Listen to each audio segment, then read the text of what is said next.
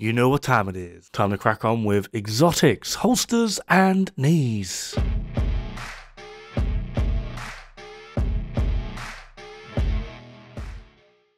We have four exotic holsters and two exotic knees. Only really two of these actually particularly stand out. So, up first we have Dodge City holster. Talent is quick draw. While your pistol is holstered, gain a stacking buff every 0.3 seconds up to 100. This will take 30 seconds.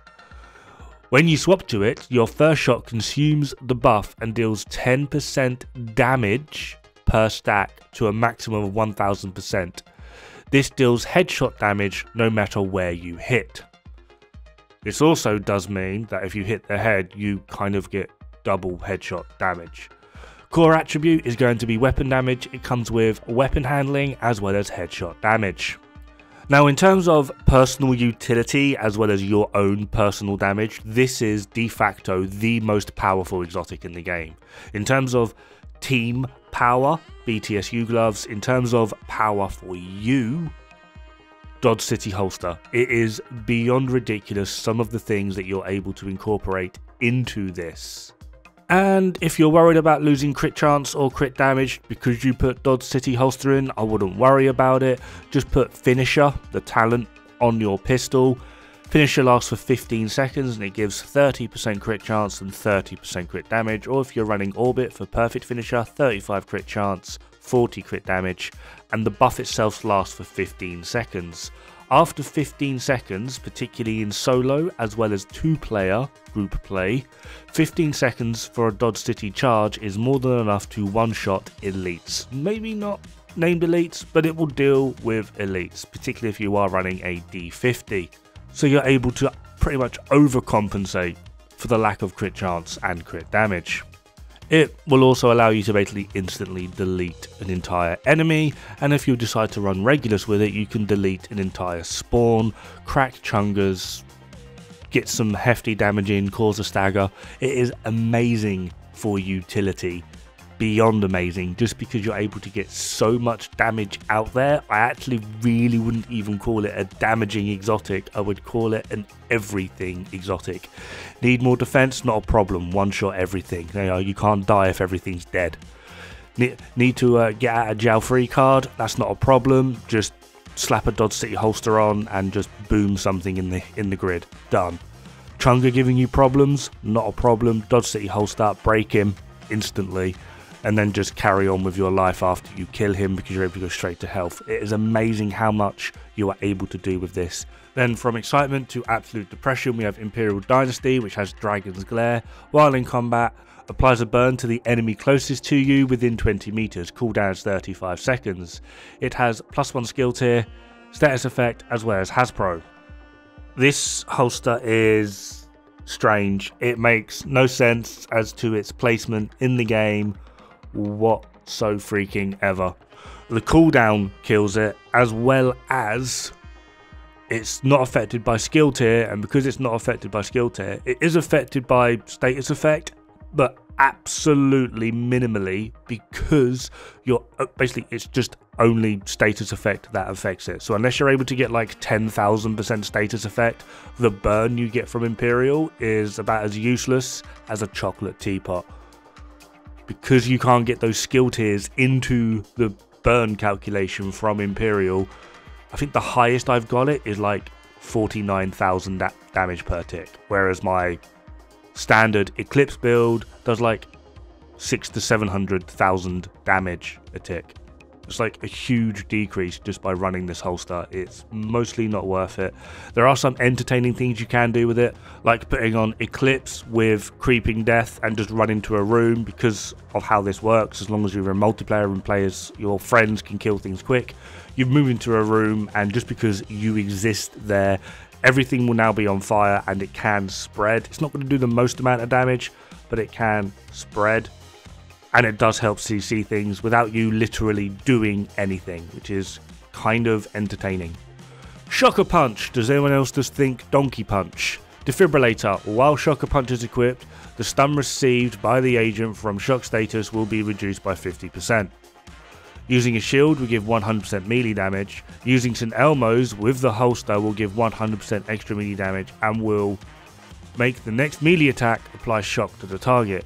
Using all three items will offer all of the above mentioned bonuses and the shock from the melee will have a 5 meter radius starting from the first target. 15 second cooldown, armor, explosive resist and Hasbro. This is the very first exotic that dictates how you should play. Not only do you have to have Shocker Punch equipped, you also need to have a shield equipped. Okay, Mantis need to have a decoy equipped. But it then goes on to say you need to have a St. Elmo's equipped. And you then need to get the effect from it to start meleeing things. I mean, even Bloody Knuckles said you could throw grenades at things melee or throw grenades. Along with the fact that 100% extra melee damage, that's great. We go from doing fuck all to fuck all times fuck all. This is pointless, and admittedly, I've not done a lot of testing However, from what I have tested so far, there's literally no point to this thing even remotely existing. I'm aware there's going to be some PvP player that comes out of nowhere and goes, oh, it's actually really good for this, blah, blah, blah, blah. Like, the only thing it's really good for is reducing the shock status by 50%. Um, Hasbro. Like, literally the only reason I can think of this thing existing is to combat St. Elmo's in PvP. That's literally it. Oh, we know people are going to be like pissed that St. Elmo's does all this shock in PvP. I know, we'll add an item that mitigates it. Brilliant logic. Waveform, my third favourite topic. Alternating current, generate a stack of 3% skill damage on one of your skills every second, capping at 10 stacks, 30%. Once at 10 stacks, 10 seconds pass before the stacks transfer to the other skill. The process repeats. So it goes 3, 6, 9, 12, 15, bloody, up to up to 30. And it stays at 30 on skill A. Then it goes 30, 27 blood down, while skill B goes 3, 6, 9. Basically just swaps. It's just up and down, up and down, up and down. Total process takes 40 seconds. 10 seconds up, 10 seconds at top, 10 seconds down, 10 seconds at bottom. Plus one skill tier. Skill damage, skill, haste. Now, in a nutshell, this holster basically reads Tell me you love RNG without telling me you love RNG. When you read it, it sounds amazing until you realize that, as a lot of people like telling me, okay, the range is only good, or it's just not good really in general for testing damage numbers because enemies don't stand there and let you shoot them. They move, they do things, which is true. However, by that logic, waveform is then utterly useless because in the range you have a 75% chance to do I think it's like 1.8% more damage. I did do a spreadsheet on this. I I've lost it because I got fed up with arguing this. On the range have a 75% to do 1.8 more damage, but you have a 25% to lose like 4.7% damage. That's on a range with nothing moving the moment you have a buff, say on your turret, but your turret can't shoot the enemy because the enemy moved or it got behind cover. That percentage from being 75% to do more and 25% to do less completely basically flips. Now that I've said that, people are going to go, oh, you're saying waveform is bad. No, I'm not. Waveform is good you can get quite a lot out of it. If you have waveform on your skill build though, you basically need to micromanage the buff. Because if you have, again, the buff on your turret, but your turret isn't shooting anything, you get nothing. And I don't mean is your turret shooting or not shooting, I mean is it actively shooting at and hitting the target it is aiming at. Because if it is not, Target goes behind tree, runs, hides, anything. Waveform at that point is useless. Whereas if you just put like a Wyvern piece on and got 10% skill damage rather than the average that waveform gives you is 15. Wyvern now is going to do, admittedly at full buff, slightly less, but there's no micromanaging involved. It's always there, it's always up, all of the time. It's a lot more easy and a lot more convenient. Right, we're now going to move on to those pesky, pesky knees. Now, up first, we have Sawyers. Sawyers are quite interesting. They have a talent called Stand Your Ground. It cannot be staggered by explosions. Increases total weapon damage by 3% for every second you are not moving. Stacks up to 10 times, 30% total weapon damage. Stacks decay gradually once you start moving. All stacks are lost after 10 seconds from when you started moving. Comes with an armor core, explosive resistance, and health.